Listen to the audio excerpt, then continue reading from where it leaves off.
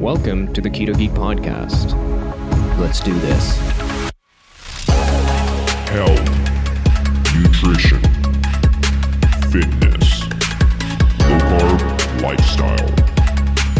Hello, everyone. Welcome back to our Keto Geek Podcast. Today we have Dr. Peter Ballerstedt at our, uh, well, he's not at our studio, but he is on Skype with me, and he is an awesome person who will be talking about the sustainability aspect of ruminant agri- agriculture. Just to give you guys a little bit of background on who he is, he is and he has extensive experience in forage agriculture. He was the forage extension specialist at Oregon University from 1986 till 1992. He is also the forage product manager at, manager at Barenbrug, USA, but he is not affiliated with them, especially when it comes to the conversation here. And he's also not a big fan of the low fat is healthy heart, blah, blah, blah dietary advice that we've been given for the last 50 years. So, doctor, do you have anything else to add over here that I might have missed out? Or do you want to explain your journey forward? Sure, I'd be happy to. And thank you for this opportunity. Um, just a few minor points. Um, the land grant university in Oregon is Oregon State. They're the Beavers. The university down the road, that's uh, University of Oregon. They're their Ducks, and we don't really care. Um, it's in-state rivalry stuff. So I was at Oregon State.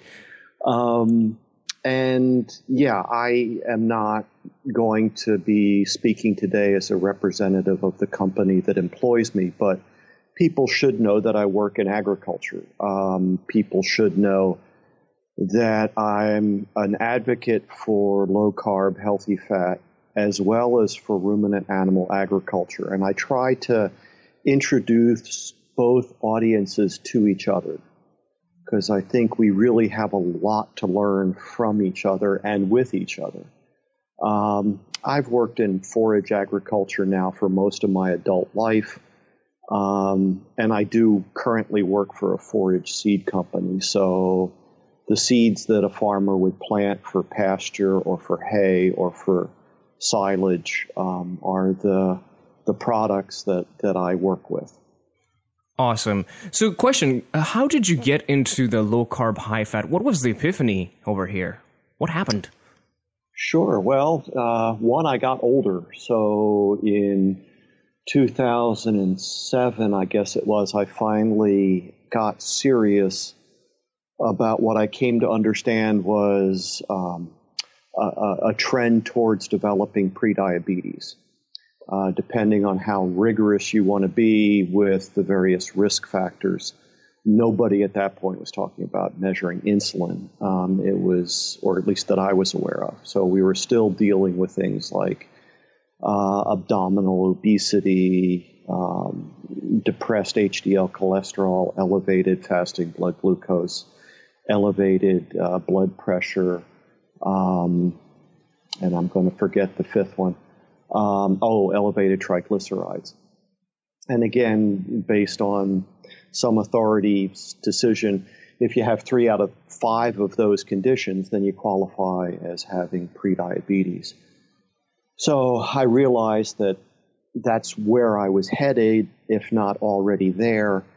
Um, my wife, Nancy, had already been five years onto a journey of reading and implementing uh, a restricted carbohydrate diet. And as anyone who's gone down this path knows, you, you, you start somewhere and you learn and change as you go along. So we're very much not where we were back then. Uh, but all of that led to personal experience and personal discoveries.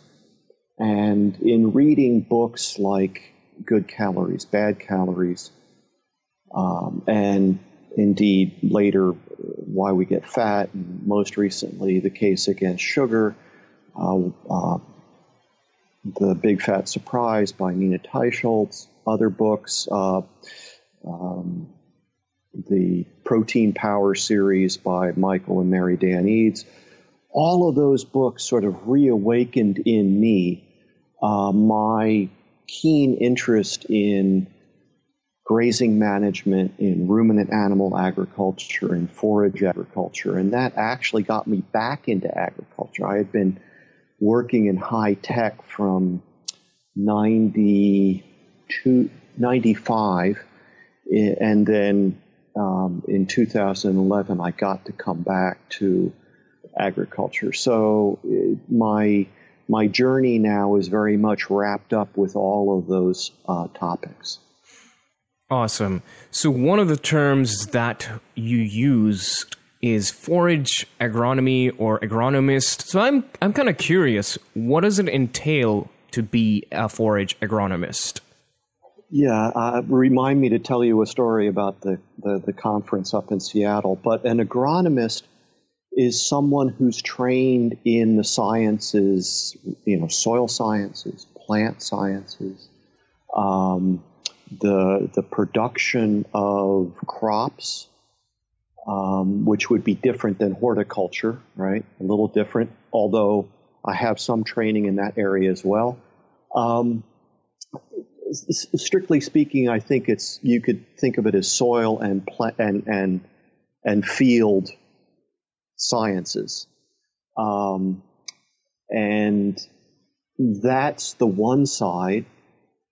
And on the other side, I I came to focus just on forages. So forages are those plants that are meant to be consumed by livestock.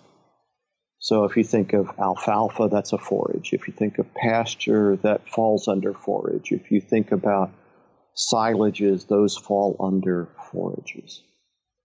And then I received a good deal of training in uh, ruminant nutrition. And so ruminants are those animals uh, that have the specialized stomachs, the four compartmented stomachs. They chew a cud they, because of the bacteria and other microorganisms that live in the reticulorumen, are able to break down the fiber in their diet. And then they chew cud, and I guess even toes is another characteristic of a ruminant. So if you think of cows, you think of sheep, you think of goats, those are the predominant ones, but there's also buffalo there's also um, antelope and uh, a, a large number of other ruminants. Awesome. So one thing that I get asked all told all the time is meat causes colorectal cancer. I hear that everywhere. So a lot of us know in in this uh, low carb world, we we we're pretty much good skeptics of all of these claims. But what about the rest of the people? How can they kind of understand what's going on in these uh, in this situation? Where can they find resources? How can they become good skeptics here? What kind of resources do we have? Well, I, I guess there's a couple ways to attack it. One would be to introduce people to the far greater uh, association between diabetes and cancer. Um, and as we've all gone down this path, we've been introduced to just how much all of this depends on nutritional epidemiological studies. And as we learn more about that, the more we learn that they're just really so soft as far as information and, and, and scientific rigor. Um, we could introduce them to uh, the the information that shows how we had populations who were not yet exposed to refined carbohydrate were eating their traditional diets, whatever those traditional diets were, and they didn't have these diseases that we've come to refer to as, you know, Western diseases or whatever the other phrase is. And yet, when those same populations began to eat refined flour and refined sugar, all of those diseases started showing up within a generation. So there, there's it's it's a complicated story. Um, the, the simplest way to attack it, perhaps, is to simply say that the only information that makes that kind of a claim is from these kinds of nutritional uh, surveys, epidemiological surveys. We, we don't have plausible um, explanation from biochemistry or from physiology or from endocrinology. Okay. And we've beaten this topic to the death that epidemiological studies are not the best studies to rely on as well. So what happened? What's the what's the history behind it? How did we end up over here with all of this crisis in the agricultural with all these process companies and then this drive towards environmentalism? So could we get an idea? Well, sure. Um, so it, it's interesting. Um, the the transition certainly World War One was a major inflection point. You know, lots of young men left the farm and then came back, and they didn't necessarily want to go back to the farm, or in some cases they couldn't for some reasons we could talk about. A huge one was going to be World War II, and then coming back. And so, if you look at ag research, what you see is a lot of the people that did a lot of really good research grew up on the farm, went and served in the military, came back from that experience. They went to college or they finished college in some cases and went to graduate school uh, via GI Bill and some other support. They didn't necessarily want to go back to the farm, but they wanted to stay in agriculture. And and one of the things that was happening in agriculture in the United States post World War II is in order to deal with the increasing cost of labor, a lot of the changes that are now familiar had to take place. Because people could, you know, work in the city or work somewhere else and make more than they could at the farm. So there's been these big societal changes and one can say what's a lead and what's a follower, but they're reflected in agriculture. So, today, for example, in the United States, we have more people in the United States today that are actually incarcerated than are listed as primary operators of farms. And, and the problem with that is that all it takes to be called an operator of a farm is you have to, you know, I don't know, sell a thousand dollars worth of product off of your quote farm unquote. So if you dig into those numbers a little bit further, what you find is that um, more than 70% of that 2 million people, just a little bit more, that are primary operators. So you know, let's let's call it somewhere around three quarters just to keep the math easy for me. Only only 500,000 people who are listed as primary operators of farms in the United States are making more than 25% of their household income from their farm. Wow. uh, so so and and upon them all the rest of our society depends. So it's it's it's really easy to kind of sit back and you know judge things, but let's pause for a moment and and realize because they're doing that, we don't have to, and that allows us to do other things like we're doing right now. Mm-hmm. Um, the the so with that as sort of prelude, let me step back and say that we're familiar with the development of the dietary guidelines. The dietary goals first, and then the dietary guidelines. What we may not be as familiar with is the sort of social time in which those came from. So, in the 60s and 70s, we had various movements and various beliefs and, and uh, worldviews.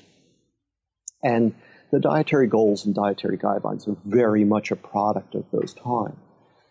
Um, and basically, this this belief system about the healthfulness and the planet friendliness of a plant based diet springs from that time as well as some predecessors. But that found its way into the dietary guidelines, and they're still trying to promote that. And so in January, I think, of 2015, well, actually, December of 2014, the Dietary Guidelines Advisory Committee, which is this expert panel that's assembled every five years to consider the best evidence and then make their recommendations, that then goes to the USDA and the HHS to form the next edition of the dietary guidelines. They dropped this bomb on everyone just shortly before Christmas and New Year's, saying that they were now prepared to exclude even lean meat from a healthy diet pattern. And the reason that they were going to use to justify that was sustainability. I see. Um, yeah, so that that caused a minor kerfluffle, uh, kerfluffle and um, so that's still there. It, it's still operating. This this idea that somehow a plant-based diet is healthier than one based on meat or even an omnivorous diet. So uh, all of that is is still there, and part of what I want us all to consider is um, I'm, I'm, leveraging um, Gary Taubes' article from New York Times Magazine. And basic, what if it's all been a big fat lie? Of course, when he wrote that article, it was what if fat doesn't make you fat? But what if all of this has, to one degree or another, been part of this same narrative and, and mistaken belief system? And that then should inform our conversation about sustainability. Um, it should inform our discussion about food quality and all of those things as well.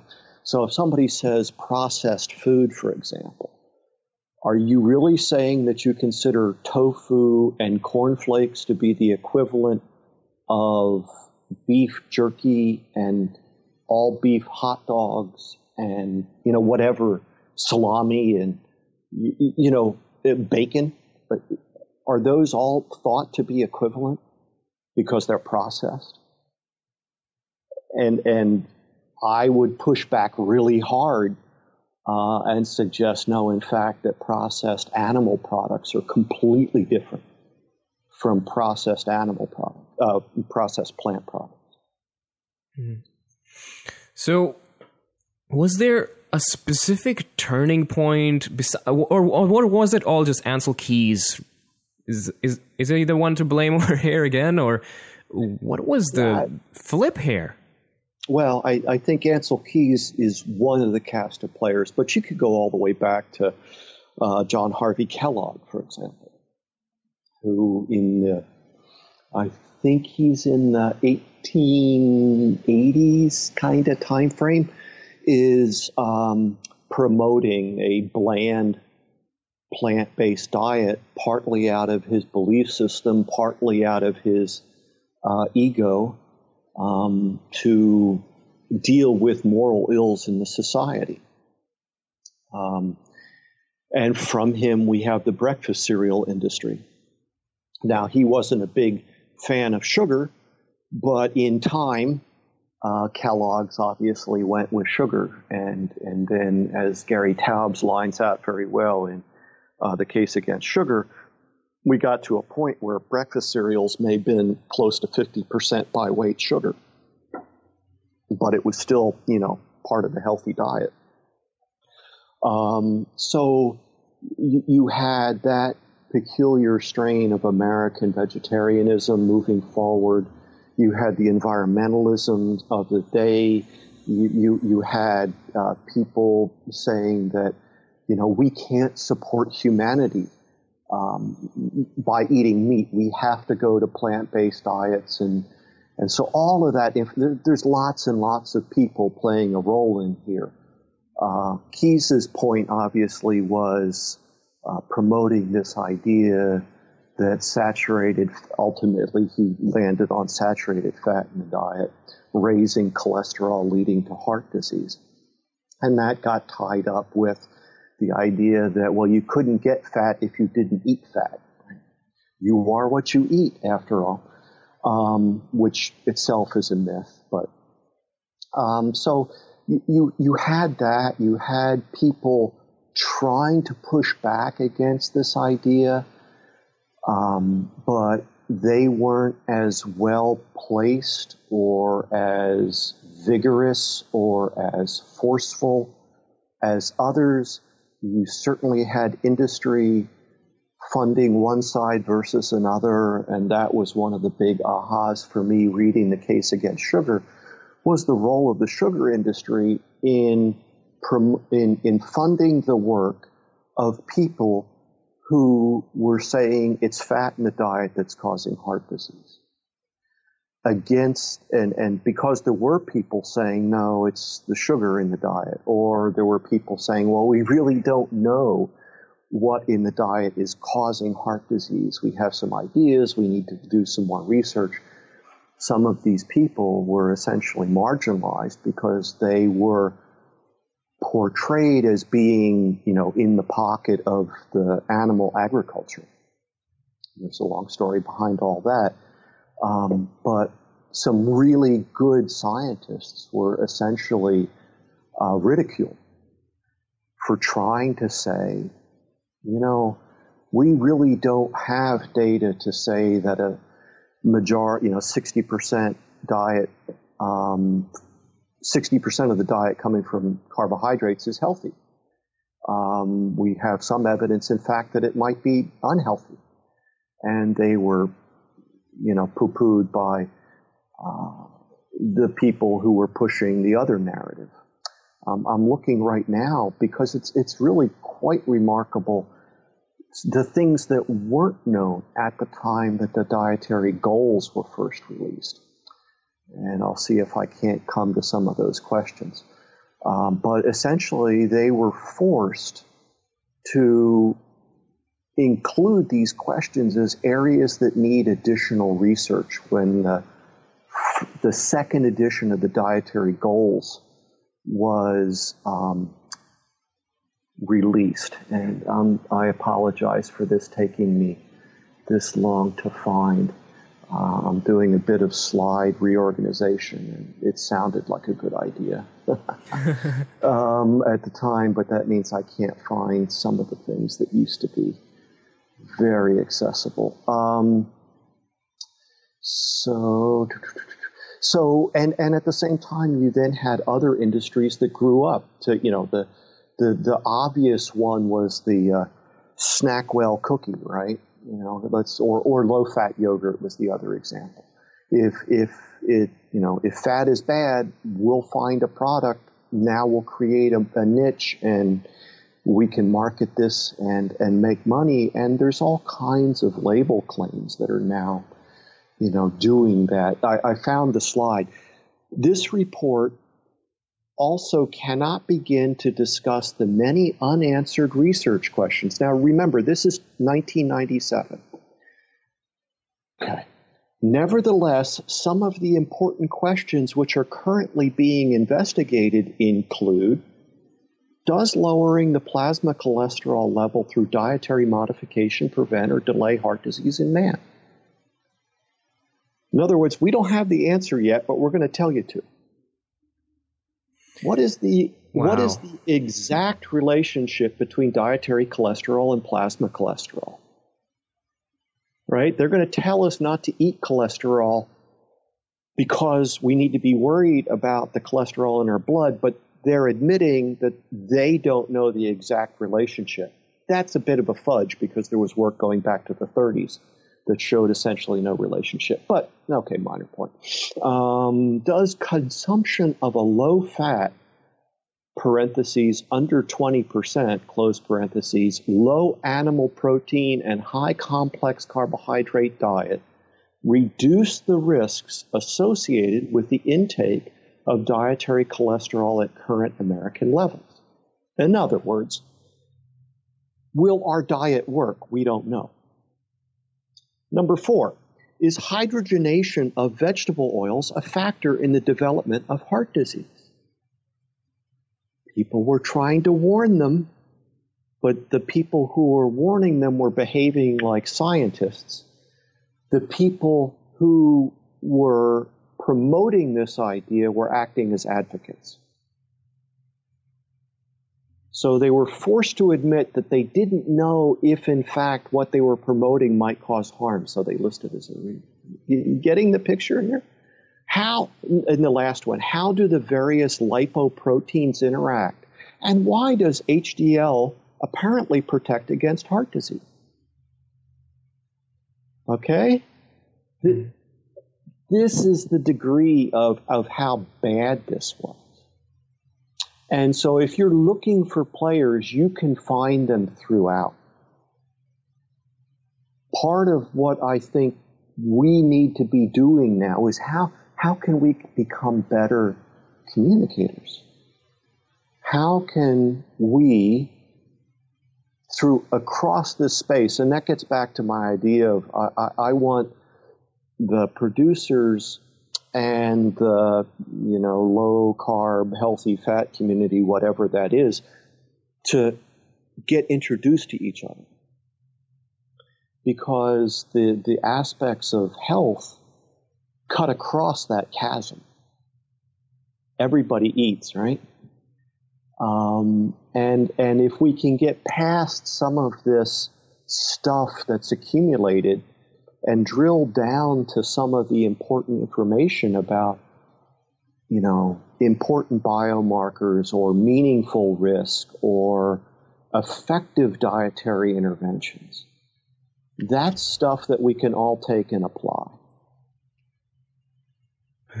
Yeah. Wow. So we didn't do a great job in the past. Uh, well, no, indeed. Uh, here's a here's a, a, a quote from uh, Dr. Eades, Michael Eades. Um, We've all been unwitting subjects in a long observational study. The hypothesis of which is that a low-fat, high-carbohydrate diet will reduce obesity, diabetes, and the other so-called diseases of civilization. In my view, it hasn't worked out all that well, which is just a marvelous understatement. And then there's a there's another quote from Gary Taubes: "Can we get the low fat proponents to apologize?" Yeah, I, I saw that one. yeah, yeah, I don't think so, but it would be nice. Um, and and we we now uh, there's this. It, it's interesting to watch now as things change, right? But basically, official policy is going to take a long time to change. Unfortunately, a lot of programs are being aligned with that policy. So that's a whole nother conversation. But it, it could take a whole, you know, another 30 years to get this super tanker, if you will, turned around and, and heading in what, you know, perhaps you and I would argue appears to be a more informed direction. Well, there's a lot of people here that that are being impacted. And how do we, if you will, foster this grassroots um, movement? Yeah, that's a that's a that's a tough question right there, especially with our information age and everybody having such a low attention span, everything being quick to acquire, instant gratification. This culture does not seem to foster, at least in United States, it does not seem to foster this sort of uh, grassroots level social uh, sort of uh, environment. So it's going to be well, a challenge. Yeah, it'll be a challenge um, for sure. I have some ideas, I have some approaches, but uh, part of it is is we've got to get yeah, what is it? Um, yeah, they used to say that if uh, if you give a million monkeys typewriters, they'd reproduce reproduce Shakespeare. But now, thanks to the internet, we know that's not true. Ouch. Which, yeah, ouch, just a little bit, right? Um, but but there there is so much out there, and the the good news is that the official gatekeepers are no longer relevant. Unfortunately, that opens up the the space for just some real nonsense. Um, you know the the uh, what is it? Brandolini's law, the amount of energy necessary to refute, and then I edit just a little bit for the audience. Male bovine fecal matter is an order of magnitude bigger than to produce it. And, and, and so much of what we end up doing, right, is going back, no, it, you don't have to worry about colorectal cancer. No, it's not, you know, uh, it, it it's not going to make you fat. It's not going to make your heart blow up. You know, all of that stuff. But then there's all these other, so, so now you can see that people eh, eh, or at least this is my perception. You can see people saying, okay, so if you have diabetes, if you have type 2 diabetes, okay, I understand that you're carbohydrate intolerant, so it makes sense to not eat so much carb. But, but what about? I refer to those as the yeah, but questions. Yeah, but what about? Yeah, but what about? Yeah, but what about? and and it, it it's just it's whack a mole if you're familiar with that carnival game. you know, you you have a hammer in your hand, and some little puppet jumps up out of one hole, and you hit it over the head to make it go down, and another one pops up out of another one, and you just are supposed to keep you know whacking away at this thing. Um, I'd, I'd like to get us beyond that. Um, but in the meantime, we get to deal with some of these issues. So you have people arguing that, you know, if we all went on plant based diets, we'd save so many billion people or whatever the idiotic number is. Part of that justification is they're going to extrapolate from questionable data about heart disease rates and cancer rates and all that kind of stuff we can deal with that. The other is they're going to cite equally ludicrous information about climate change and how many people it's going to kill. And they're going to make the leap to the fact or the, the, the, the, the assertion that it's animals that are driving that change. Or they're going to say that the earth can't feed current or future levels of humanity if we eat or, as some would argue, rely on animal products. And, and those are equally refutable, they're equally specious. Um, but how much time do you have for yeah. us to dig into each one of those? Yeah, it's gonna it's gonna be an interesting. I have a feeling this is gonna be an, a long podcast now, but uh, so just to go back onto let's let's open this can of worms and see we see where where it takes us. So first question here is, what is your definition of sustainable? What does that even mean? It gets thrown around everywhere. So, what is sustainability or sustainable? Yeah, so that's an excellent question. Sustainable or sustainability is now a value. Um, and, and, just as you say, it, it, and as I related earlier, um, you know, essentially the Dietary Guidelines Advisory Committee was getting caught out. We can't find actual nutrition science to support our position. So now we'll throw sustainable on it, and that'll make it okay, right? That, that that's the cloak of green. That's the cloak of we're now we're now virtuous. It's all good. Um, if sustain, uh, in my mind, if it's going to be a legitimate conversation, we have to consider more than just environmental aspects. And, and in fact, I would rather we focus on the science of ecology rather than the belief system of environmentalism. In addition, we need to look at the societal aspects, and we also have to look at uh, economic aspects. So, you know, ultimately, if farmers can't make a living producing food and selling it, it makes, you know, they, they won't continue. There's no sustainability without profit, right? That mm-hmm. that's just the way that goes. Now, some people think that profit's a bad thing. Okay, fine. Now we've identified where we can have another conversation.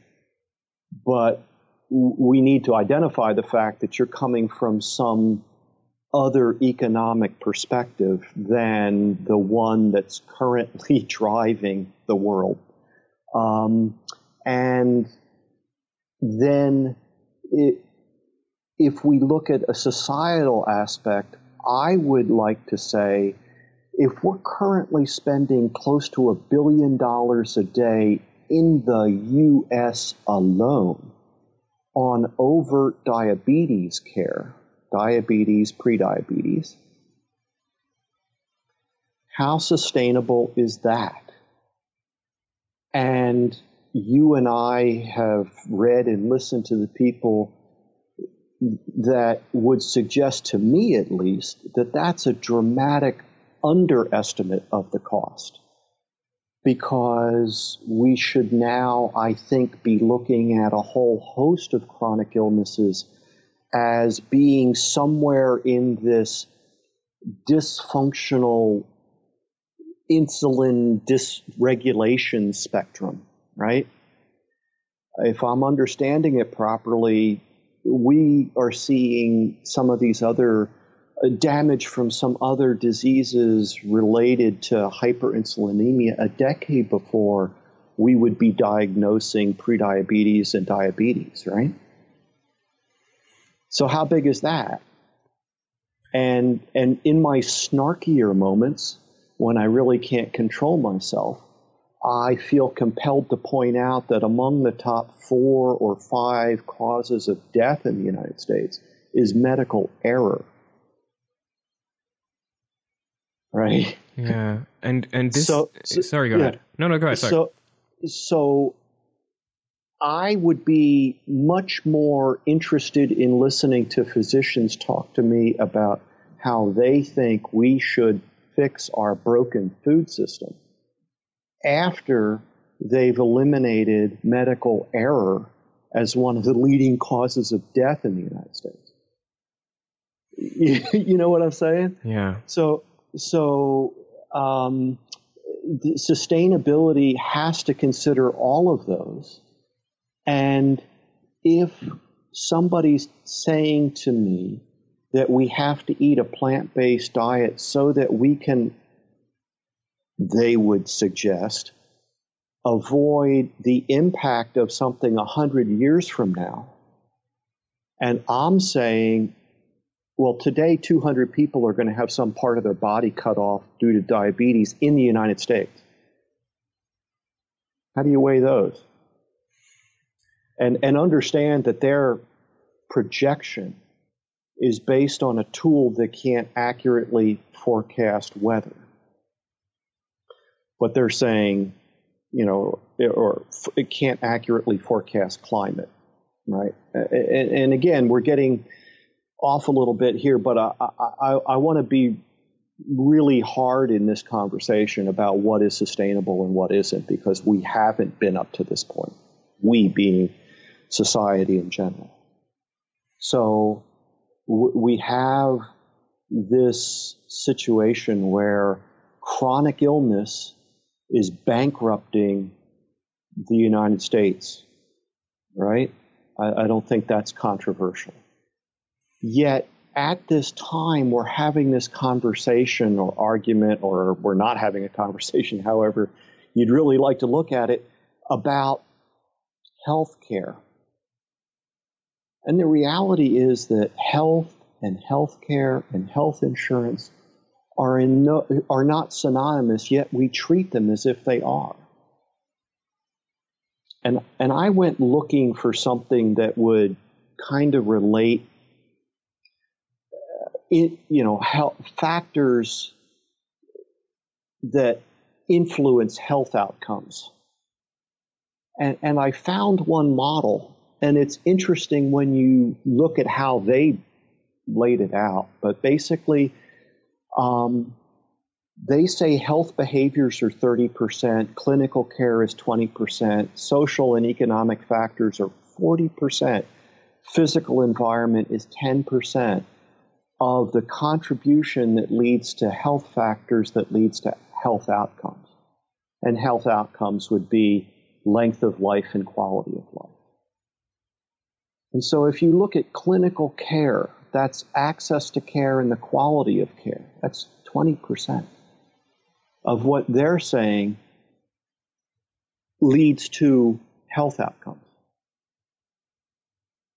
Tobacco use, diet and exercise, alcohol use, unsafe sex, that's what they say are in health behaviors. Social and economic factors, the biggest chunk that's education, that's employment, that's income, that's family and social support, that's community safety. I don't hear that being discussed in our healthcare debate. Right? So, so, eh, and I'm not that kind of doctor. I don't know, but that makes sense to me. It, it, you, you, you, you know, if, if you didn't have those other things right, right? You you can't exercise your way out of a crappy diet, right? We we say that kind of stuff.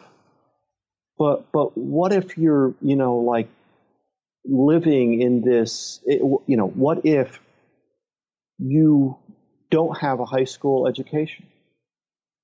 What what what what if you're trying to make do on um, you know, hourly wage or less than full time you know, employment? What, you know, what if your family is, you know, a pack of wolves? And, and you know, so, so I, I want us to kind of take a step back and say, my my goal is to see what we can all do to foster human flourishing in as many human beings' lives worldwide as possible.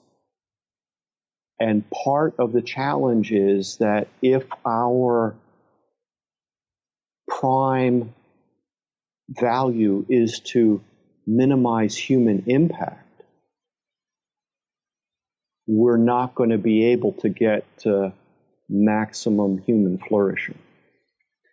The irony is if we get if if we focus on human flourishing, we will minimize human impact.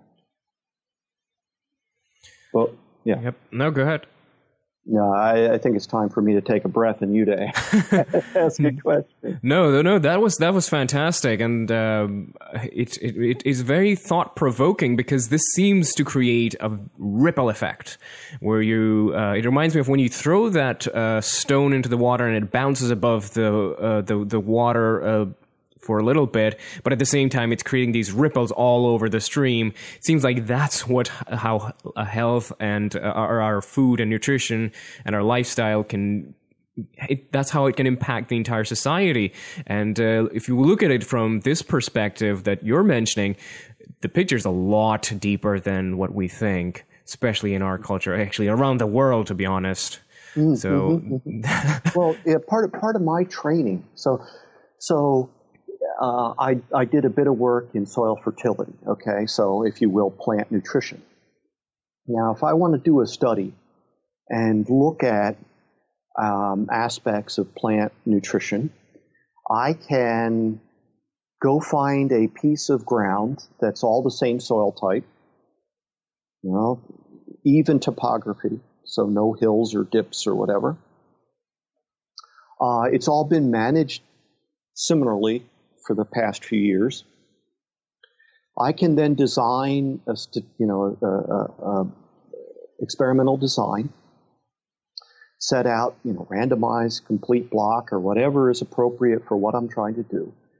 Um, and and several replications I can I can put out the fertility treatments before or after the plants are planted and growing. Uh, I'll plant it all to the same variety, the same batch of seed. Uh, if I if I want to, I can even irrigate the thing, so I'm not dependent on rainfall. I, I can do all kinds of stuff to control for all kinds of variables. So when I get done, and I see a yield difference or whatever the parameter is I'm measuring, I can be, I can have a, a, fair degree of confidence that what I'm looking at is in fact a treatment effect. Now, I also can do nutrition work with animals. It gets more rigorous. There are uh, more there there are review processes because there are ethical considerations about what you can and can't do, and that's all proper. But it's it's it, you can in fact get genetically similar animals. Um, you can control them to varying degrees. You can feed them a diet that you can estimate to a fair certainty what the nutritional profile of that diet is. You can measure what they don't eat. You can measure what comes out. You can even put those animals in uh, calorimeters if if you wanted to, um, and get a, a pretty good idea of what's going on. And as my friend Adele added at one point, she said, yes, and sacrifice them at the end of the study to determine body composition. You can't do those things with human beings, nor should you, right? No. Yet, human nutrition is the, the people operating in that space too often want to behave and be perceived as being as rigorous as those other two disciplines. And it, it, it's not a bad thing that they can't be as rigorous. What is a bad thing is when they're going to, you know, act as if they are. Th- that's where we, I think, I would suggest then have a, a problem. So now we get to the point where you were just saying with the, the ripples. Well, none of those variables have been controlled for, right? So you have the healthy adherer effect that comes into these studies. You tell people who are more predisposed to listen to whatever they're being told to do something, well, what else are they doing? What else is different about them than somebody who isn't? You know, are the people not listening also more likely to smoke? You say you're controlling for that, but I, so so that's in play there, and I think we need to be aware of that going forward uh, in the conversation about sustainability. So I'm I'm fully on board with the idea that the human diet ought to be. Uh, here's here's one more thing about cost. 84 cents out of every dollar in the United States, you know, healthcare dollar is going for chronic illnesses and 99 cents out of every dollar in Medicare is for chronic illness. Wow. So yeah, so so if if somebody's going to tell me, well, you know, this this plant-based diet that I'm all advocating for is is what people have to be on for sustainability reasons. I would push back and say, and if we can't sustain the cost of feeding it to our population, how do we account for that in the conversation? Um, so, and and oh by the way, we're on plant-based diets now. Part of that is out of necessity. Part of that is out of we're told that that's what we should be eating. Um, so if if we if we look worldwide, um, something like worldwide, 84% of the food calories are coming from plants. And worldwide, something like 64% of the protein is coming from plants. This is FAO UN information. And in, in what is it, 33 years now? 2050. Um, we are projected to have a little more than 2 million more people. So 9 plus billion people 2050. How are we going to feed them? Because that is a concern. We should be concerned about that. And we shouldn't, I would suggest, fall for the misanthropic approach of population control strategies that have been tried in the past. And that's a whole other conversation that we could have. Uh, part part of what I suggest is that the Earth is finite, if you will. You know, two thirds of its surface is ocean. There are issues around, you know, fisheries management. I'm not qualified to talk about those. 14% of the Earth's surface, if we look at the entire surface, is what's called rangeland. That's land that cannot, should not be in cultivation. Yet it can be producing a resource, high fiber feed stuff that can be converted via ruminant animals into high quality animal protein and animal fat, as well as other aspects of nutrition that are very desirable forest is about 10%. So now we're about a quarter of the land, the Earth's surface, I'm sorry, not land, a quarter of the Earth's surface could be in some form of ruminant animal agriculture. Only 4% of the Earth's surface is in cultivation, or, and, and you could argue about the degree to which that's a good idea. 1% currently is urban industrial land. And as that expands, it's going to take away from that cultivated land area. So if we're going to feed this growing population, and, and there's some statistics or estimates from UN that say that by 2050, we're going to have to double food production to not just meet the needs, but because those populations are not just growing, they're, they're becoming more prosperous, which is a good thing. So today, I think, what did I see the other day? Something like three quarters of, um, oh, now I'm gripping on the number, so I better shut up.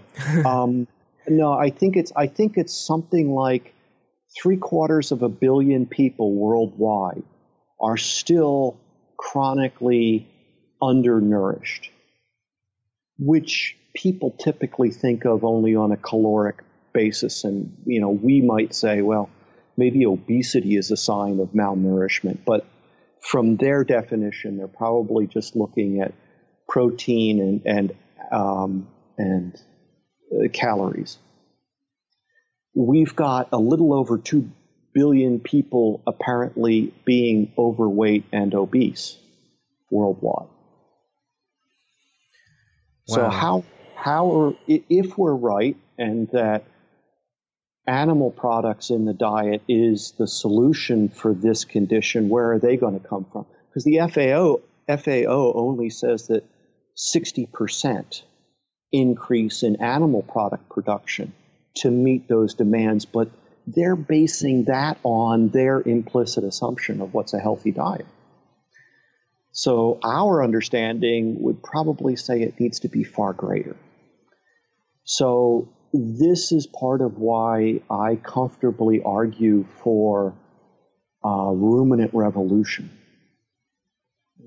Point, you know, sort of harkening back to the green revolution of the 60s and 70s, which allowed a billion people to not starve to death. But that was exactly what that was about was was avoiding starvation and the ruminant revolution will be about fostering the the the um, thriving, the prosperity of this growing population, which itself will help us solve other problems, right? More brains help solve more problems. Um, and it won't be just in the US, it'll be worldwide. So there's some things that I've come across just to, again, because people argue, right? You know, well, if we were to take all the grain that we're feeding livestock animals to produce animal products, then we could feed humans. Well, no, we couldn't. Because already two thirds of the grain that's consumed worldwide is consumed by humans. Wow. So, so even if you took all the rest of it, that wouldn't be enough because it the the animals are increasing the human food supply. Now I tend to focus only on the ruminants, not so much on the swine and the poultry. Because the, the ruminants have this ecological advantage again of being able to take a feed stuff that we can't utilize. Now, what many people don't recognize is that if, if you take, if you produce 100 pounds of a human utilizable food out of a grain, you tend to produce about 37 pounds of byproduct that humans can't use. Well, we can run that through animals or bury it in the landfill, right? You know, we've got to dispose of it somehow. It's not human food how are we? Eh, so so um, there, there's a whole lot in here that people don't know because again they're they're not part of that very small minority who are involved in agriculture. But how do we foster the conversation that gets them aware of it? People will say that, well, we, sh- you know, rather than we should just feed the, the wheat to people directly, right? Well, in California, we can produce more human food, energy, and protein, which is also of higher quality, by per acre by growing alfalfa and feeding it to dairy cows than by growing wheat. Is, is that factored into the conversations about sustainability? I really don't think so. Um, and and if you you know part of this again, there are some people that get to act as if they're virtuous. You know, like big business bad, we're good, right? Because we're organic, we're green, we're whatever, we're local, whatever. Well, you may have heard about a little purchase that happened here recently where one company paid $13.4 billion cash for another company. Right? So this this this fear of food, this this mythology, this marketing has created this market that has hugely enriched some and arguably increased the, the stress on others. How do we factor that into the conversation? Um, I have one picture which I just think is the height of, of it's just so ludicrous to me. But what do what, it's it's cigarettes made with organic tobacco? Really? Yeah. really? Are, are we missing the point here?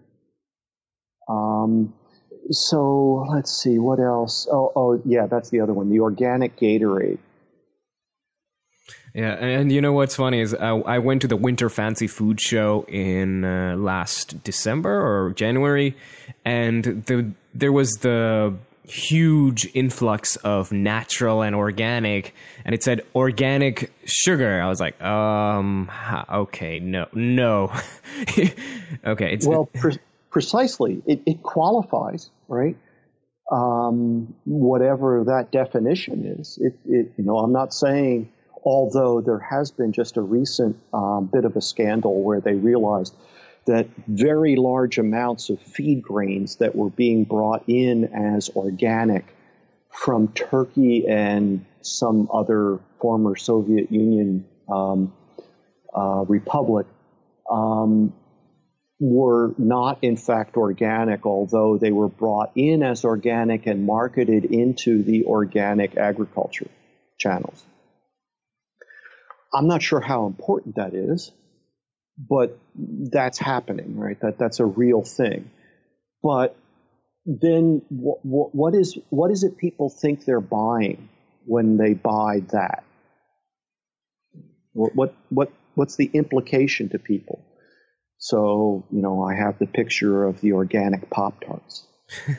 so, so before we go further, a quick question right here. So just to make this a little bit more practical for certain people, we when you go to the store, you see a lot of this, uh, especially in the meat aisle or in the eggs or any of those places.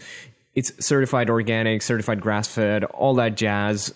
It's kind of overwhelming for most people, even for myself. There's too many labels. How do we even figure out? How do we even get started here? What's even okay or good, or is that just a marketing hype? Um, I when I'll tell you what I do when I go to the market. Um, if the beef is on sale, uh, we buy the, you know, conventional beef.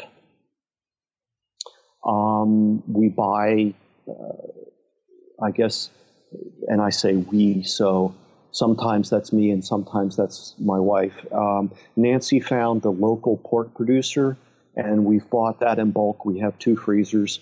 Um, but if I want, you know, bacon or something like that, I buy that from the store. I'm not concerned about the label claims, and we can talk about some of that. The best example that I could give you, and um, Ted Naiman is certainly somebody who should be on your list, um, but he related to me, and I think he's published this, so it's okay. He has a patient who's living in a tent. Now, I'd love to know the backstory, and as we were just earlier discussing, some of those aspects, probably, you know, what's going on there. But, okay, he went to the secondhand store, bought a uh, cast iron skillet. He has a propane stove uh, butane, butane stove, sorry. Um, he goes to Safeway, which is our local chain supermarket. He buys the 80 20 hamburger when it's on sale, you know, 80% lean, 20% fat. He buys the Safeway eggs when, you know, because they're the cheapest ones. That's what he cooks. That's what he eats. It costs him six or seven dollars a day. Food and fuel. And over the course of, and now I'm going to get this a little wrong, so I'll say a year, just to be on the safe side, he's dumped 70 pounds and normalized all his panels, right? It, it, wow. the, the label claims are not the issue. You know, people are not diabetic. We don't have over half of the adult population in the United States diabetic or pre diabetic because, well, let, me put it another way. Dr. Atkins didn't get his results through grass fed and organic, they didn't exist. Nor did doctors Michael and Mary Dan Eades in their practice that led to Protein Power. Those options didn't exist. Now, if somebody cares to and can afford to, that's great.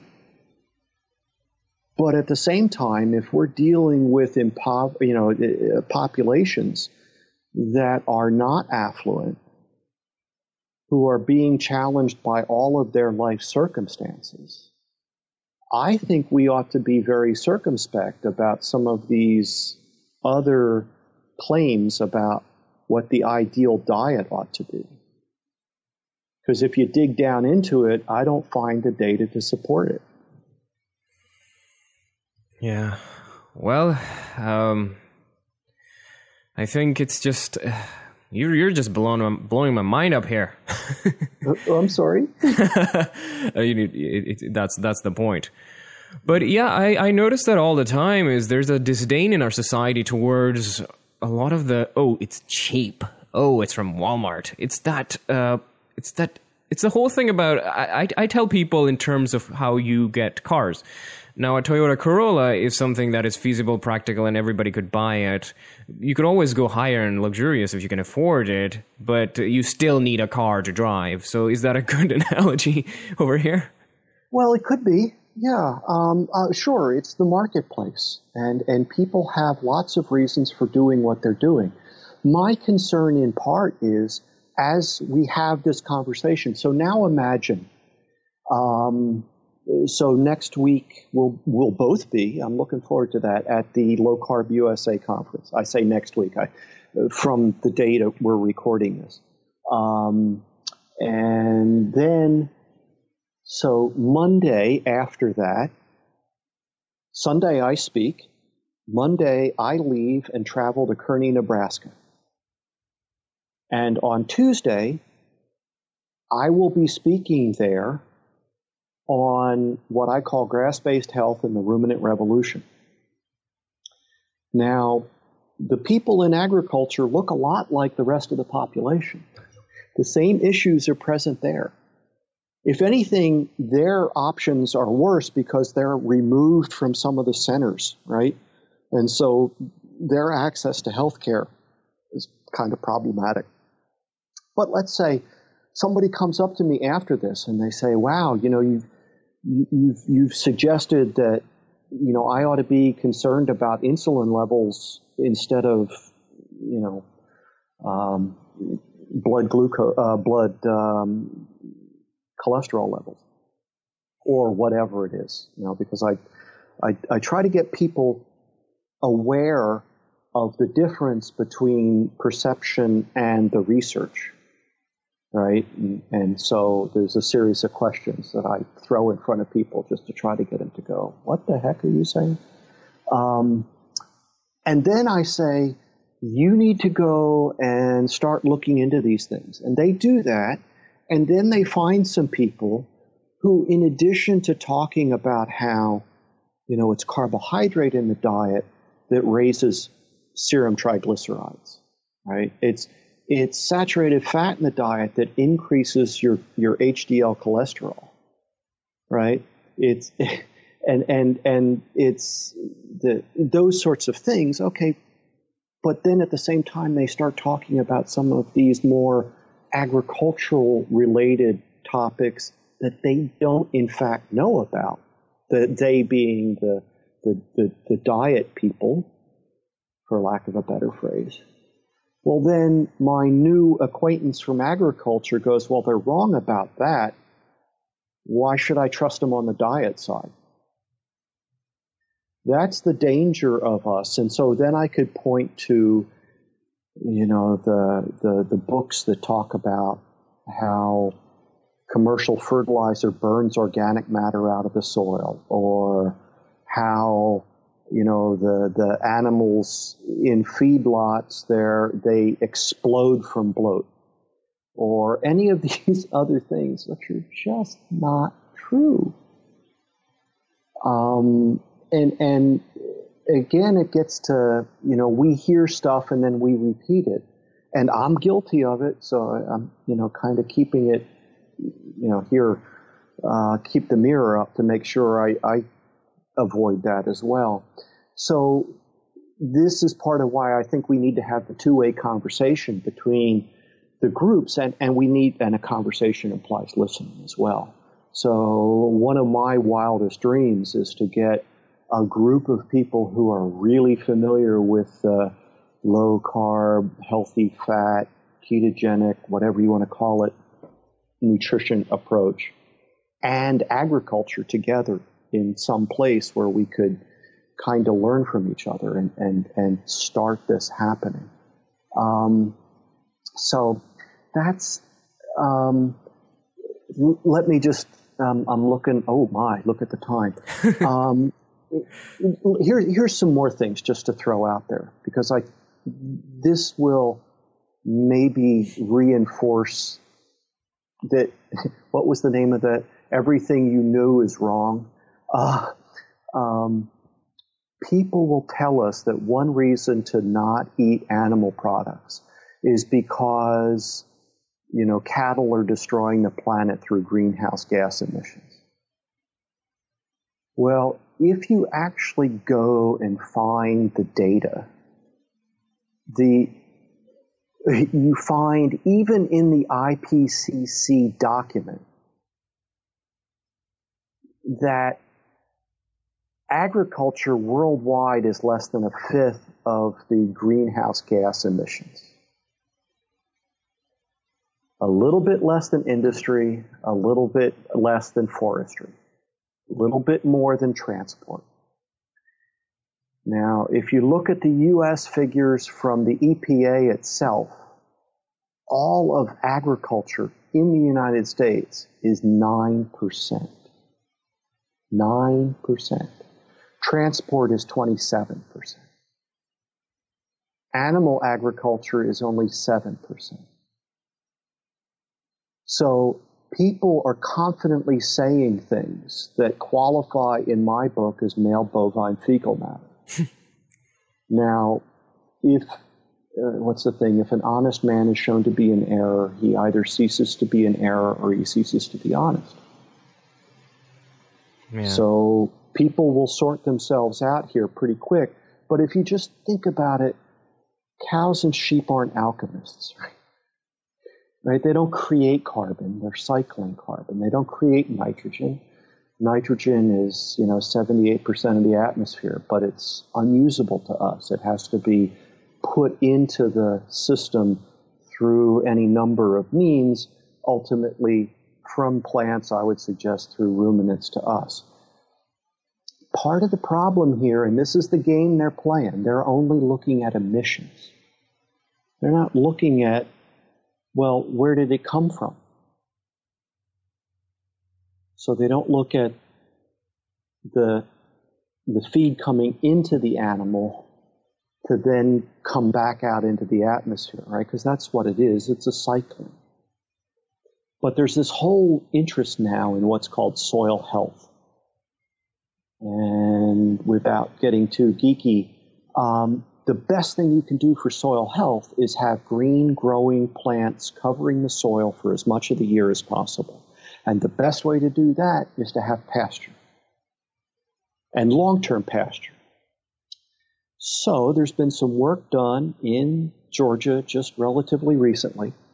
What they saw is under well managed, irrigated, dairy pasture, they saw over uh, basically a, a, a three tenths of a percent increase per year increase in soil carbon. Now, we didn't used to think that was possible. So to turn that into a number, that's 3.6 tons of carbon per acre per year that are now in the soil that didn't used to be.